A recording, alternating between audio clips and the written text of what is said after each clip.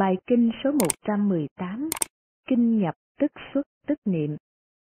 Như vậy tôi nghe, một thời Thế Tôn ở Savatthi tại Đông Duyên, giảng đường Lộc Mẫu, cùng với rất nhiều thượng tọa có thời danh, có danh xưng, như tôn giả Sariputta, xá lợi Phất, tôn giả Mahamokkalana, đại mục kiền liên, tôn giả Mahaka Kejana, đại ca chiên viên, tôn giả Mahakotita, đại câu Hy La, tôn giả Mahakapina, đại kiếp Tân Na, tôn giả Mahakunda, đại Quần đà, tôn giả Anuprada, Ana luật, tôn giả Krevata, Ly Bà Đa, và tôn giả Ananda, Anan, cùng với nhiều bậc thượng tọa đệ tử khác có thời danh, có danh xưng.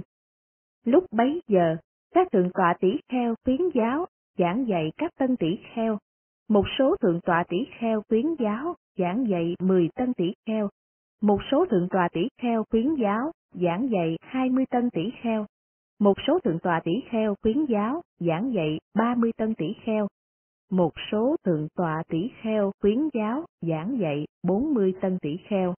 Và các tân tỷ kheo được các thượng tọa tỷ kheo khuyến giáo giảng dạy ý thức rõ ràng những quả vị cao diệu, tiệm thứ, thù thắng đã chứng đạt. Lúc bấy giờ, Thế Tôn vào ngày bố tát, ngày rằm, vào đêm trăng tròn sau ngày tự tứ, đang ngồi giữa trời với chúng tỷ kheo đoanh dây. Thế Tôn nhìn quanh chúng tỷ kheo đang yên lặng, hết sức yên lặng, rồi bảo các tỷ kheo, ta được thỏa mãn, này các tỷ kheo, với đạo lộ này tâm ta được thỏa mãn, này các tỷ kheo, với đạo lộ này, do vậy, này các tỷ kheo, hãy tinh tấn hơn nữa, để chứng đạt những gì chưa chứng đạt, để chứng đắc những gì chưa chứng đắc, để chứng ngộ những gì chưa chứng ngộ. Ta sẽ ở đây, tại Savatthi, cho đến tháng tư, lễ Kumuji. Những tỷ kheo địa phương được nghe, Thế Tôn sẽ ở đây, tại Savatthi, cho đến tháng tư lễ Komuji. Các tỷ kheo địa phương tụ họp tại Savatthi để ý kiến Thế Tôn, và các thượng tọa tỷ kheo lại càng khuyến giáo, giảng dạy các tân tỷ kheo nhiều hơn nữa. Một số thượng tọa tỷ kheo khuyến giáo giảng dạy 10 tân tỷ kheo, một số thượng tọa tỷ kheo khuyến giáo giảng dạy 20 tân tỷ kheo, một số thượng tọa tỷ kheo khuyến giáo giảng dạy 30 tân tỷ kheo. Một số thượng tọa tỷ kheo khuyến giáo giảng dạy 40 tân tỷ kheo, và những tân tỷ kheo được các thượng tọa tỷ kheo khuyến giáo giảng dạy ý thức rõ ràng những quả vị cao diệu, tiệm tứ, phù thắng đã chứng đạt. Lúc bấy giờ, Thế Tôn vào ngày Bố Tát, ngày rằm, vào đêm trăng tròn, ngày lễ Kumuji vào tháng tư. Thế Tôn đang ngồi ngoài trời, chung quanh có chúng tỷ kheo đoanh dây. Rồi Thế Tôn, sau khi nhìn xung quanh chúng tỷ kheo đang yên lặng, hết sức yên lặng, liền bảo các tỷ kheo. Hội chúng này, này các tỷ kheo, không có lời thừa thải. Hội chúng này, này các tỷ kheo, không có lời dư thừa, đã được an trú trong lõi cây thanh tịnh. Chúng tỷ kheo như thế này, này các tỷ kheo, hội chúng như thế này, này các tỷ kheo, là một hội chúng đáng được cung kính, đáng được tôn trọng, đáng được cúng dường, đáng được chấp tay, là phước điền vô thượng ở đời. Chúng tỷ kheo như thế này, này các tỷ kheo, hội chúng như thế này, này các tỷ kheo, là một hội chúng bố thí ít, được phước báo nhiều, bố thí nhiều, càng được phước báo nhiều hơn nữa. Chúng tỷ kheo như thế này, này các tỷ kheo, hội chúng như thế này, này các tỷ kheo, là một hội chúng khó thấy ở đời. Chúng tỷ kheo như thế này, này các tỷ kheo, hội chúng như thế này, này các tỷ kheo, là một hội chúng xứng đáng đi nhiều do tuần, với một bao lương thực trên vai để ý kiến. Chúng tỷ kheo, này là như vậy. Này các tỷ kheo, hội chúng này là như vậy. Này các tỷ kheo, này các tỷ kheo, trong chúng tỷ kheo này, có những tỷ kheo là những A-la-hán, các lậu hoặc đã đoạn trừ, phạm hạnh đã thành, các việc nên làm đã làm, gánh nặng đã đặt xuống, mục đích đã thành đạt, hữu kiết sử đã được đoạn tận, được giải thoát nhờ chánh trí. Này các tỷ kheo, có những bậc tỷ kheo như vậy trong chúng tỷ kheo này. Này các tỷ kheo, trong chúng tỷ kheo này có những tỷ kheo đã đoạn trừ năm hạ phần kiết sử, được hóa sanh. Từ ở đấy được nhập niết bàn, không còn phải trở lại đời này nữa. Các bậc tỷ kheo như vậy, này các tỷ kheo, có mặt trong chúng tỷ kheo này.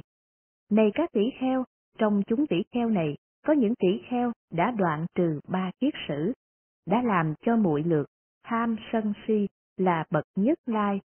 Sau khi sanh vào đời này một lần nữa, sẽ đoạn tận khổ đau. Các bậc tỷ kheo như vậy, này các tỷ kheo, có mặt trong chúng tỷ kheo này. Này các tỷ kheo, trong chúng tỷ kheo này có những tỷ kheo đã đoạn trừ ba kiết sử, là bậc dự lưu, không còn đọa vào ác đạo, chắc chắn sẽ được giác ngộ. Các bậc tỷ kheo như vậy, này các tỷ kheo, có mặt trong chúng tỷ kheo này.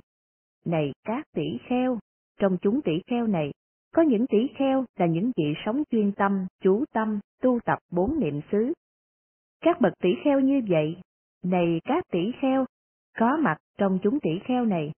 Này các tỷ kheo, trong chúng tỷ kheo này, có những tỷ kheo là những vị sống chuyên tâm, chú tâm, tu tập bốn chánh cần. Các bậc tỷ kheo như vậy, này các tỷ kheo có mặt trong hội chúng này. Này các tỷ kheo, trong chúng tỷ kheo này có những tỷ kheo sống chuyên tâm, chú tâm tu tập bốn như ý túc. Các bậc tỷ kheo như vậy, này các tỷ kheo có mặt trong chúng tỷ kheo này. Này các tỷ kheo, trong chúng tỷ kheo này có những tỷ kheo sống chuyên tâm, chú tâm tu tập năm căn. Các bậc tỷ kheo như vậy, này các tỷ kheo có mặt trong chúng tỷ kheo này. Này các tỷ kheo, trong chúng tỷ kheo này, có những tỷ kheo sống chuyên tâm, chú tâm tu tập năm lực. Các bậc tỷ kheo như vậy, này các tỷ kheo, có mặt trong chúng tỷ kheo này.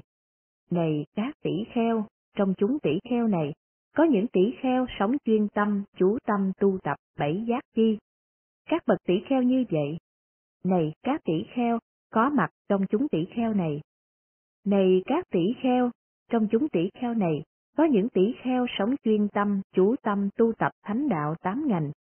Các bậc tỷ kheo như vậy, này các tỷ kheo, có mặt trong chúng tỷ kheo này. Này các tỷ kheo, trong chúng tỷ kheo này, có những tỷ kheo sống chuyên tâm, chú tâm tu tập từ tâm. Các bậc tỷ kheo như vậy, này các tỷ kheo, có mặt trong chúng tỷ kheo này. Này các tỷ kheo, trong chúng tỷ kheo này, có những tỷ kheo sống chuyên tâm, chú tâm tu tập ti. Các bậc tỷ kheo như vậy, này các tỷ kheo, có mặt trong chúng tỷ kheo này. Này các tỷ kheo, trong chúng tỷ kheo này, có những tỷ kheo sống chuyên tâm, chú tâm tu tập hỷ. Các bậc tỷ kheo như vậy, này các tỷ kheo, có mặt trong chúng tỷ kheo này. Này các tỷ kheo, trong chúng tỷ kheo này có những tỷ kheo sống chuyên tâm chú tâm tu tập xã. Các bậc tỷ kheo như vậy, này các tỷ kheo, có mặt trong chúng tỷ kheo này. Này các tỷ kheo, trong chúng tỷ kheo này, có những tỷ kheo sống chuyên tâm chú tâm tu tập bất tịnh. Các bậc tỷ kheo như vậy, này các tỷ kheo, có mặt trong chúng tỷ kheo này. Này các tỷ kheo, trong chúng tỷ kheo này, có những tỷ kheo sống chuyên tâm chú tâm tu tập vô thường tưởng. Các bậc tỷ kheo như vậy, này các tỷ kheo, trong chúng tỷ kheo này, có những tỷ kheo sống chuyên tâm chú tâm tu tập nhập tức xuất tức niệm. Nhập tức xuất tức niệm, này các tỷ kheo, được tu tập, được làm cho sung mãn, đưa đến quả lớn, công đức lớn. Nhập tức xuất tức niệm, được tu tập, làm cho sung mãn, khiến cho bốn niệm xứ được viên mãn. Bốn niệm xứ được tu tập, làm cho sung mãn, khiến cho bảy giác chi được viên mãn. Bảy giác chi được tu tập, làm cho sung mãn, khiến cho minh giải thoát được viên mãn. Và này các tỷ kheo, như thế là tu tập nhập tức xuất tức niệm. Như thế nào làm cho sung mãn? Như thế nào là quả lớn, công đức lớn? Ở đây, này các tỷ kheo, tỷ kheo đi đến khu rừng, đi đến gốc cây, hay đi đến ngôi nhà trống và ngồi kiết già, lưng thẳng và trú niệm trước mặt, chánh niệm, vị ấy thở vô, chánh niệm, vị ấy thở ra, thở vô dài, vị ấy biết, tôi thở vô dài, hay thở ra dài, vị ấy biết, tôi thở ra dài, hay thở vô ngắn, vị ấy biết, tôi thở vô ngắn, hay thở ra ngắn, vị ấy biết, tôi thở ra ngắn. Cảm giác cả toàn thân, tôi sẽ thở vô, vì ấy tập. Cảm giác cả toàn thân, tôi sẽ thở ra, vì ấy tập. An tịnh thân hành, tôi sẽ thở vô, vì ấy tập. An tịnh thân hành, tôi sẽ thở ra, vì ấy tập. Cảm giác hỷ thọ, tôi sẽ thở vô, vì ấy tập. Cảm giác hỷ thọ, tôi sẽ thở ra. Vì ấy tập, cảm giác lạc thọ, tôi sẽ thở vô. Vì ấy tập, cảm giác lạc thọ, tôi sẽ thở ra. Vì ấy tập. Cảm giác tâm hành, tôi sẽ thở vô. Vì ấy tập, cảm giác tâm hành, tôi sẽ thở ra. Vì ấy tập, an tịnh tâm hành, tôi sẽ thở vô. Vì ấy tập, an tịnh tâm hành, tôi sẽ thở ra. Vì ấy tập, cảm giác về tâm, tôi sẽ thở vô. Vì ấy tập, cảm giác về tâm, tôi sẽ thở ra. Vì ấy tập, với tâm hân hoan, tôi sẽ thở vô. Vì ấy tập, với tâm hân hoan, tôi sẽ thở ra. Vì ấy tập, với tâm định tĩnh, tôi sẽ thở vô. Vì ấy tập, với tâm định tĩnh, tôi sẽ thở ra. Vì ấy tập, với tâm giải thoát, tôi sẽ thở vô. Vì ấy tập, với tâm giải thoát, tôi sẽ thở ra. Vì ấy tập, quán vô thường, tôi sẽ thở vô. Vì ấy tập, quán vô thường, tôi sẽ thở ra. Vì ấy tập, quán ly tham, tôi sẽ thở vô. Vì ấy tập, quán ly tham, tôi sẽ thở ra. Vì ấy tập, quán đoạn diệt, tôi sẽ thở vô. Vì ấy tập, quán đoạn diệt, tôi sẽ thở ra. Vì ấy tập, quán từ bỏ, tôi sẽ thở vô. Vì ấy tập, quán từ bỏ, tôi sẽ thở ra. Vì ấy tập, nhập tức xuất tức niệm. Này các tỷ kheo! Tu tập như vậy, làm cho sung mãn như vậy, được quả lớn, được công đức lớn. Và như thế nào, này các tỷ kheo, là nhập tức xuất tức niệm được tu tập? Như thế nào làm cho sung mãn, khiến bốn niệm xứ được viên mãn. Khi nào đầy các tỷ kheo, tỷ kheo thở vô dài, vì ấy biết, tôi thở vô dài, hay khi thở ra dài, vì ấy biết, tôi thở ra dài, hay thở vô ngắn, vì ấy biết, tôi thở vô ngắn, hay khi thở ra ngắn, vì ấy biết, tôi thở ra ngắn, cảm giác cả toàn thân, tôi sẽ thở vô, vì ấy tập, cảm giác cả toàn thân tôi sẽ thở ra, vì ấy tập. An tịnh thân hành, tôi sẽ thở vô, vì ấy tập. An tịnh thân hành, tôi sẽ thở ra, vì ấy tập. Trong khi tùy quán thân trên thân, này các tỷ kheo, vì tỷ kheo trú nhiệt tâm tỉnh giác chánh niệm, để chế ngự tham ưu ở đời. Này các tỷ kheo, đối với các thân, ta nói đây là một, tức là thở vô thở ra, Do vậy, này các tỷ kheo, trong khi tùy quán thân trên thân, vị tỷ kheo trú, nhiệt tâm, tỉnh giác, chánh niệm để chế ngự tham ưu ở đời. Khi nào, này các tỷ kheo, vị tỷ kheo nghĩ, cảm giác hỷ thọ tôi sẽ thở vô, vị ấy tập, cảm giác hỷ thọ tôi sẽ thở ra. Vị ấy tập, cảm giác lạc thọ tôi sẽ thở vô, vì ấy tập, cảm giác lạc thọ, tôi sẽ thở ra.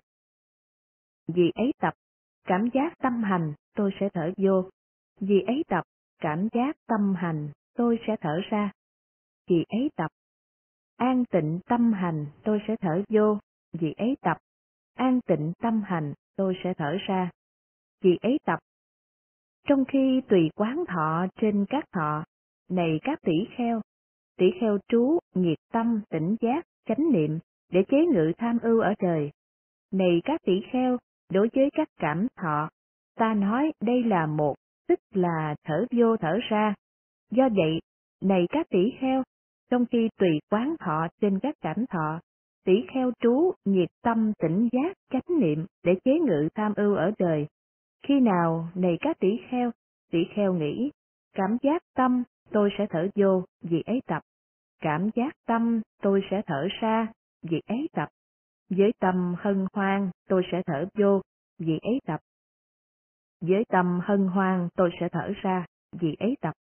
Với tâm thiền định, tôi sẽ thở vô, vì ấy tập. Với tâm thiền định, tôi sẽ thở ra, vì ấy tập. Với tâm giải thoát, tôi sẽ thở vô, vì ấy tập. Với tâm giải thoát, tôi sẽ thở ra, vì ấy tập. Trong khi tùy quán tâm trên tâm, này các tỷ heo tỷ kheo trú, nhiệt tâm, tỉnh giác, chánh niệm, để chế ngự tham ưu ở đời. Này các tỷ kheo, sự tu tập nhập tức xuất tức niệm không thể đến với kẻ thất niệm, không có tỉnh giác.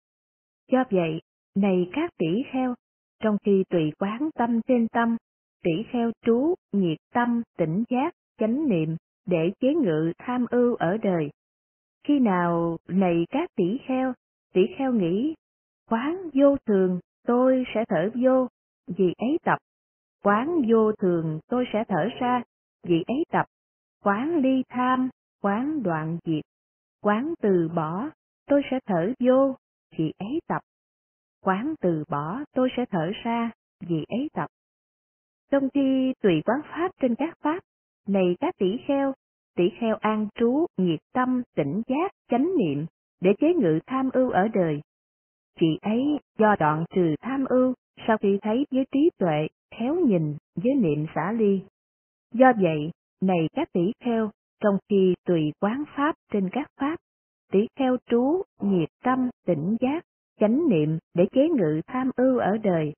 Nhập tức xuất tức niệm, này các tỷ kheo, được tu tập như vậy, được làm cho sung mãn như vậy, khiến cho bốn niệm xứ được viên mãn. Và bốn niệm xứ này các tỷ kheo, tu tập như thế nào, làm cho sung mãn như thế nào, khiến cho bảy giác chi được viên mãn.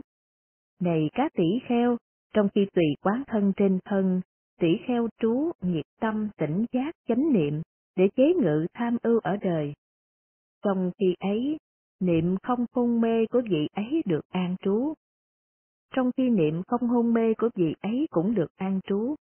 Này các tỷ kheo, trong khi ấy niệm giác chi được bắt đầu khởi lên với tỷ kheo. Trong khi ấy tỷ kheo tu tập niệm giác chi. Trong khi ấy niệm giác chi được tỷ kheo tu tập đi đến viên mãn. Này các tỷ kheo, trong khi trú với chánh niệm như vậy, tỷ kheo với trí tuệ suy tư, tư duy, thẩm sát pháp ấy. Này các tỷ kheo, trong khi trú với chánh niệm như vậy, tỷ kheo với trí tuệ suy tư, tư duy, thẩm sát pháp ấy. Trong khi ấy trạch pháp giác chi được bắt đầu khởi lên với tỷ kheo. Trong khi ấy tỷ kheo tu tập trạch pháp giác chi. Trong khi ấy trạch pháp giác chi được tỷ kheo tu tập đi đến viên mãn. Này các tỷ kheo, trong khi tỷ kheo với trí tuệ suy tư, tư duy, thẩm sát pháp ấy, sự tinh tấn không thụ động bắt đầu khởi lên với vị tỷ kheo. Này các tỷ kheo!